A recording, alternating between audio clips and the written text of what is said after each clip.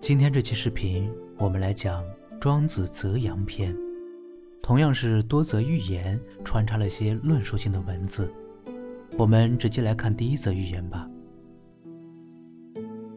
泽阳游历于楚国，夷节向楚王提起他，但楚王并没有见他，泽阳只好回去。后来，泽阳又去见王果，说：“先生怎么不向楚王提起我？”王果说：“我不如公越修。”泽阳说：“公越修是干什么的？”王果回答：“他冬天在江中刺鱼鳖，夏天就在山林中休息。有人路过问他，他回答：‘这就是我的住所。’宜节都不能做到的事，何况是我呢？我又不如宜节。宜节的为人没有德行，却又俗志。”不满意自身，于是心神游荡于交际之上，执着地沉湎于富贵之地，非但对德性无助，反而是加速亏损。受冻之人身处春天，就像借了一件衣服；中暑之人被冷风吹拂，就像回到了冬天。楚王的为人外表尊贵威严，他对于罪过就像老虎那样不宽容。不是巧言谄媚之人，或者德性纯正之人，谁能使之动容呢？所以圣人，他贫穷却能使家人忘却他贫穷；他通达却能使王公忘却爵位利禄而化为谦卑。对于外物，他能欣然接受；对于他人，他乐于沟通，但却能保全自己的本真。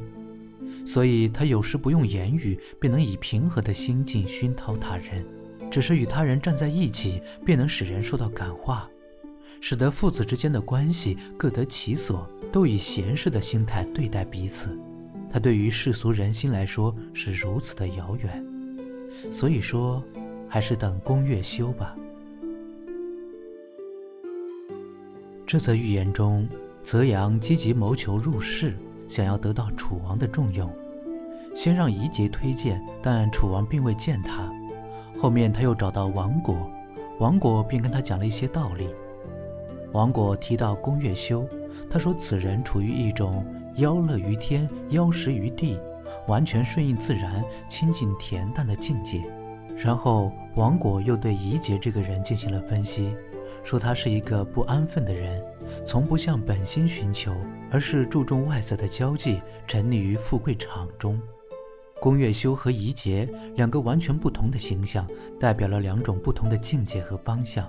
若把泽阳比作受冻之人，那么宫月修便是那温暖的春风，宜节则是那雪上之霜。若把泽阳比作中暑之人，那么宫月修便是一阵凉风，而怡节则是那火上之油。王果说自己不如公越修，乃是自谦之词；而说自己不如怡节，却是反讽之词。王果又说，楚王那样威严如虎，除了巧言谄媚之人或者德性纯正之人，谁能打动他呢？然而巧言谄媚已是虚伪，是亏损德性，是背离本真，是怡节那一类人。而圣人保守本真的同时，又能无形地感化他人。无为而无不为，这是宫月修那一类人，所以泽阳你何去何从？很显然了。最后王果直接告诉他：“你还是等宫月修吧。”言外之意，保持清净恬淡之心，以待自然的变化。下面是一段论述性的文字：圣人能贯通世间束缚。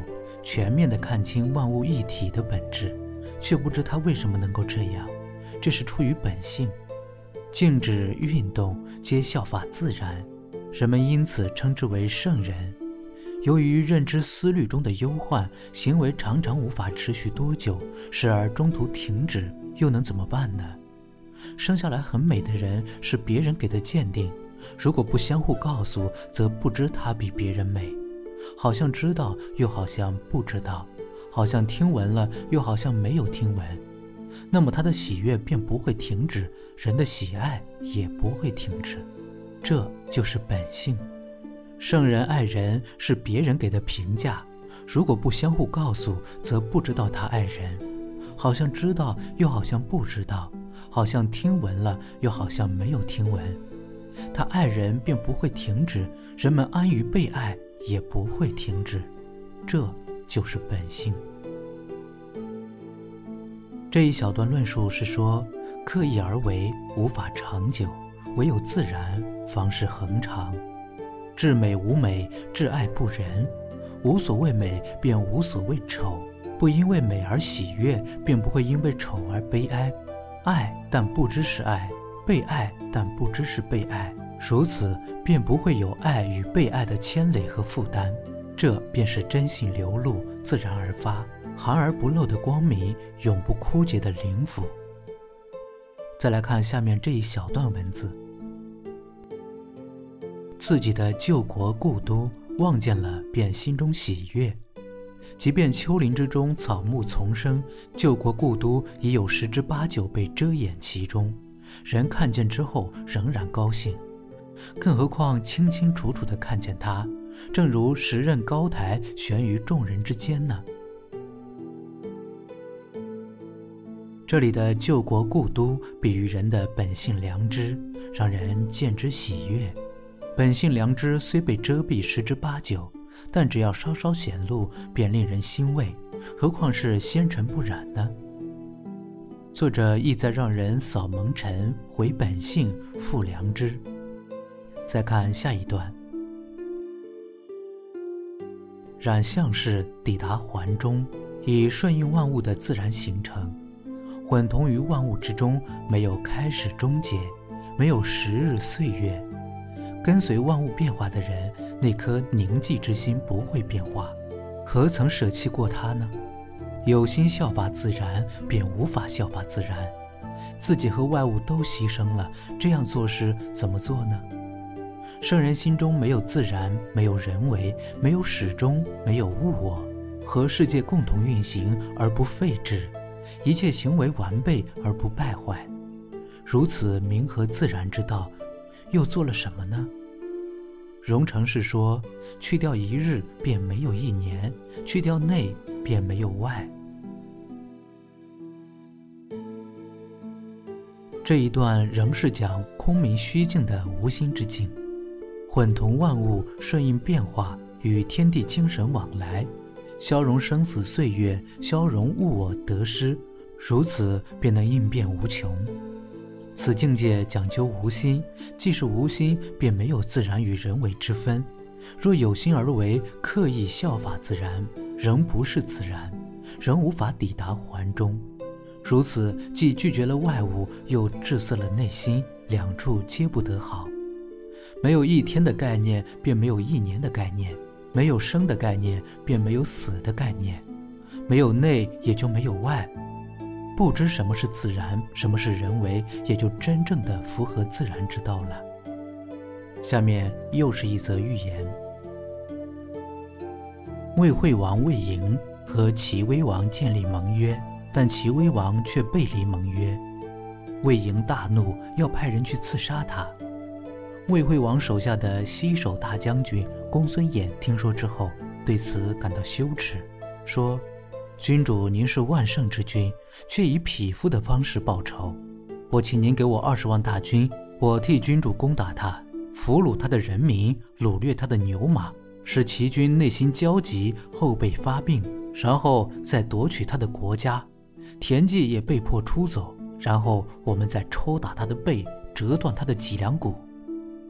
魏国的一个贤人季子听说之后，对此感到羞耻，说。铸造了十仞高的城墙，城墙既然已经十仞高了，又要把它搞坏，这是那些劳役者所感到痛苦的呀。如今兵戈不起，已有七年了，这是王上的根基啊。公孙衍乃是好乱之人，不能采取他的建议。魏国另一位贤人华子听后，又以此为耻，说：喜欢说攻打齐国的人是好乱之人。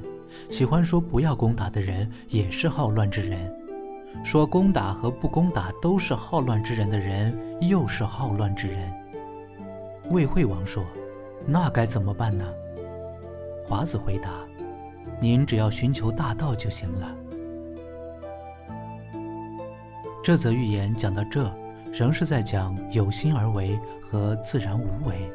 因齐王背离盟约，魏王大怒而派人刺杀，此乃有心而为。若真这样做，两国必然开战，致使生灵涂炭。魏王内心果真就能够平复吗？公孙衍建议直接攻打，也是同样的道理。而季子建议不攻打，仍带有功利之心。此时不打，乃是因为自己国家根基不稳，时候未到。若自己国家远远强于齐国，又是另说了。所以华子说，不论建议攻打与否，都是好乱之人。至于华子说自己也是好乱之人，那是因为他自己也无法消融是非对立，以他人之言为耻为非。以上四人皆不知寻求大道，大道无恩怨，无强弱大小，更无战争攻守之事。我们往下看此预言的后续。惠子听了这件事后，引荐戴晋人。戴晋人说：“有叫做蜗牛的生物，君主您知道吗？”魏惠王说：“知道啊。”戴晋人说：“有一个国家位于蜗牛的左脚，叫做处氏；另一个国家位于蜗牛的右脚，叫做蛮氏。这两个国家经常为了争夺地盘而战，伏尸数万，赢了的追逐战败的十五天才返回。”魏惠王说：“啊，你在开玩笑吧？”戴晋人说：“请让臣为您证实。您认为四方上下有穷尽之处吗？”魏惠王说：“无穷无尽。”戴晋人说：“您知道心灵遨游于无穷无尽的境遇，然后再返回这四海之内，像是存在又像是不存在吗？”魏惠王说：“是这样的。”戴晋人说。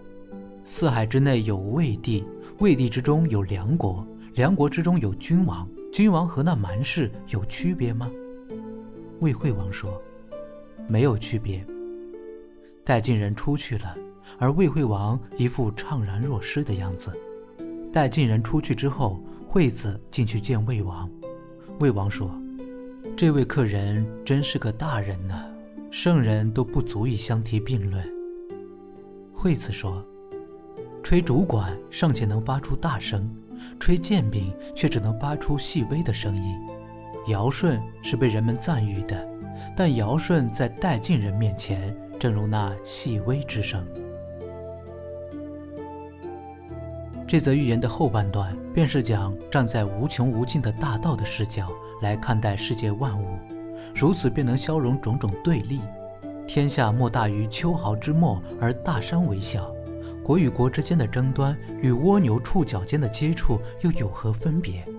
人处于无边无际的宇宙，如沧海一粟，其中的恩怨争夺更可忽略不计。与其在这纷扰的世事中思虑营营，不如去往那广漠之野，无何有之乡，逍遥无碍，自在遨游。尧舜孜孜不倦地推崇仁义，引发争端，或是千世之后人与人相识。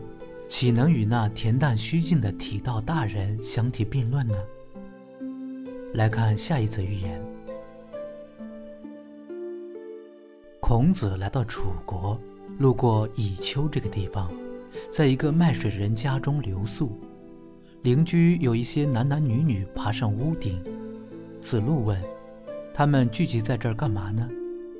孔子说：“这些是圣人的仆人。”他自己埋没于百姓当中，隐藏于田野之间。他的名声虽然消失，但心智却游于无穷。嘴巴虽然说话，内心却未尝言语。与世俗相违背而不屑同流，这是在陆地中沉默的隐者。他难道是世难遗聊吗？子路请求去叫他过来。孔子说：“算了吧，他知道我了解他。”知道我来到了楚国，认为我一定会让楚王召见他。他把我当作奸佞之人，像这样的人是羞于听奸佞之人的言论的，更何况是见到本人呢？你觉得他还在那儿吗？子路前去看他，发现他的屋子果然是空着的。这则寓言讲世南医疗的品质，他抛弃荣辱，消灭名声，混同于百姓之中，言语发自无心，不与世俗同流合污。孔子知道自己积极寻求入世，对方不愿与自己接触，所以不让子路去请他。这样一个人，孔子形容他为陆沉者。明明身在陆地，却像沉没在水中；明明可以显耀自己，却隐没在人群之中。我们最后再来看一则寓言：长吴这个地方的守封疆人去看望子劳，对他说：“你从政不可鲁莽，治理百姓不可草率。从前我种植稻子，耕田的时候很鲁莽。”那么它的果实也鲁莽地报答我，除草的时候很马虎，那么它的果实也马虎地报答我。我第二年改变方式，深入的耕田，仔细的除草，于是禾苗繁盛，果实累累，我一整年都能够吃饱。庄子听说之后说：“当今之人治理自己的身心，很多都像那守封疆人所说。”违背自然，脱离本性，散灭真情，丧失精神，去进行各种作为。所以，鲁莽对待本性的人，贪欲憎恶的危害，就像是本性中的芦苇、蒹葭等杂草。